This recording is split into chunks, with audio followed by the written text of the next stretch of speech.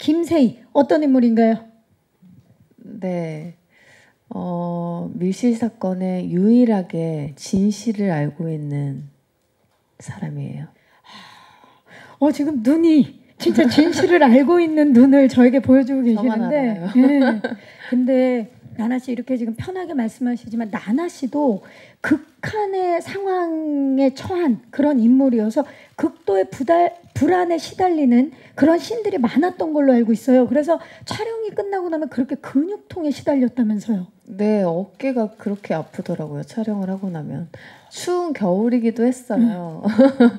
근데 어쨌든 계속 긴장 속에서 움츠려든 모습으로 이제 이런 그런 감정을 갖고 있다 보니까 이게 자연스럽게 이제 몸이 움츠러드는 상황에서 하루 종일 촬영을 했거든요.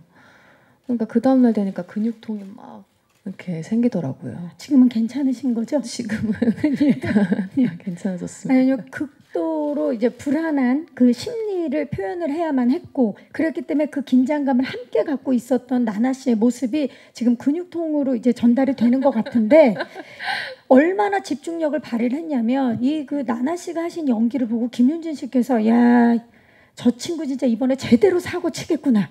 이런 말씀을 하신 걸로 알고 있어요. 감사합니다. 극찬 아닙니까? 예. 네, 그럼요. 알고 계셨어요? 그런 말씀을 하신 걸? 나나 씨? 네. 아, 전에 들으셨군요. 알고 있었군요. 통화를 예. 하면서 되게 좋은 말씀을 많이 해주셨어요. 음. 응원의 말씀도 많이 해주시고 조언도 많이 해주시고.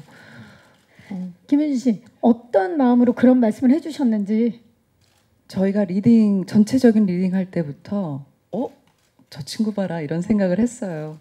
그러니까 김세희는 이 사건에 진짜 열쇠를 쥐고 있는 인물이기도 하지만 이 저희가 저희가 같이 유민호랑 양신애가 같이 바라보는 그 시선으로 음. 시선에서 바라보는 이 김세희가 많이 달라져요. 그래서 정말 이 영화를 통해서 어, 나나 씨의 아주 다양한 얼굴들을 볼 수 있으실 것 같아요. 그 상황이 바뀜에 따라서 나나 씨의 감정 변화 저희가 작품을 통해서 만나볼 수 있을 것 같습니다.